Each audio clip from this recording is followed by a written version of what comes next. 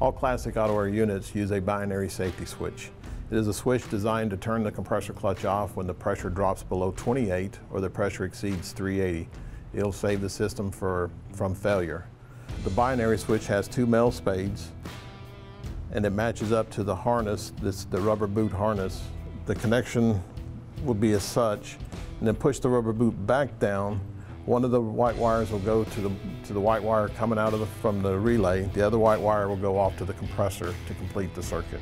And on the pressure switch, it does not matter which wire goes which way. It's just an off-on switch, so there is no right or wrong way as long as you have them plugged on.